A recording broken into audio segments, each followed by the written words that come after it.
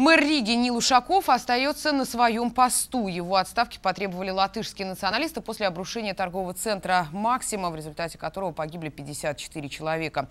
Неочередное заседание Рижской городской думы было созвано по инициативе самого Ушакова. Он же подал э, перед собранием, э, поднял перед собранием вопрос о своей отставке. Однако депутаты отказались увольнять мэра Риги.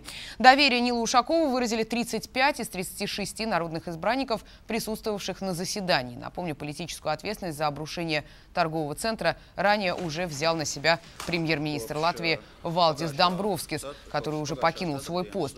Напомню, трагедия в Риге произошла 21 ноября.